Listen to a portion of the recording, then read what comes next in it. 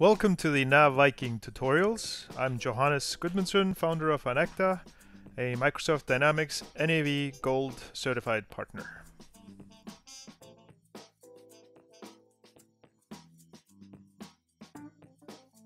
Hello and welcome to the Coffee Mac tutorials. Today we're going to go into standard cost in production. So we've been going on production things, creating production orders, bill of materials, finished goods, stuff like that, but we've completely ignored costing. There's a reason for that. Costing just is hard in uh, production. Doesn't matter what system you're using, um, there are so many different options and things you can do. Uh, so basically what we're going to do is show you how to roll up cost. That's kind of the first thing.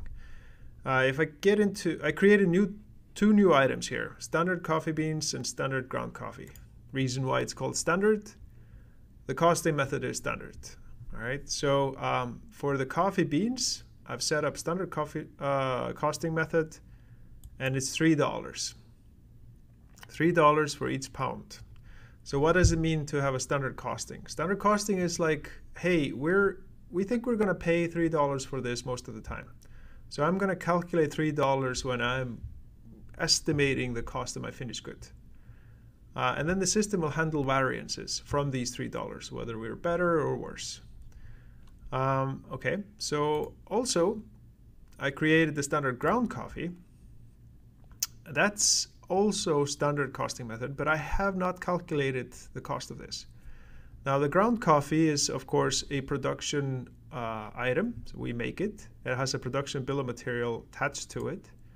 And if I go into that one, and just take a look at it.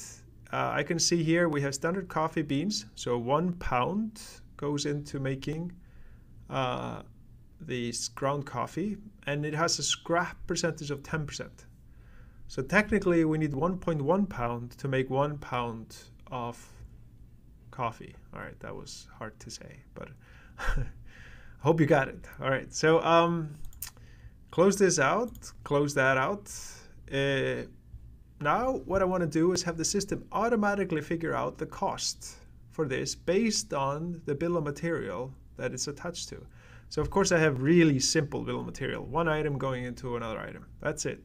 But we could have many and scrap could be different on all these items. This could be hard to calculate. You could even have sub-assemblies, meaning that some of the items are actually made themselves. So they need to be rolled up. Um, so how do we do this? Well, there's a magic trick in NAV. Uh, it's technically standard for most production systems. We go into something called standard cost worksheet. Uh, and in here, let me just delete this because uh, I was just testing this out, uh, making sure it works.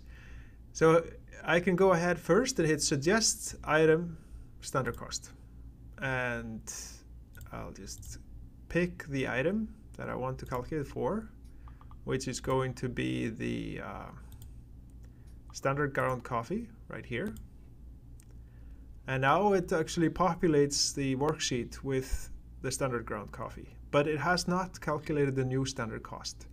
So the old standard cost is zero, the new is still set at zero. Now we need the system to roll it up to actually give me a new standard cost. So if I go here into roll up standard cost and I hit, uh, let me see, first select the item, of course. Um, standard ground coffee, like so. Now I get the cost as 330. So all I have to do now is hit implement standard cost changes and it will update the cost on the item.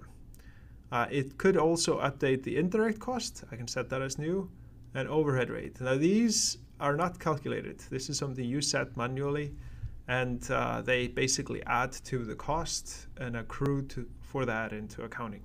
So we can go into that later to show you how that works. But basically just hit implement standard cost changes now and the new standard cost is taking in.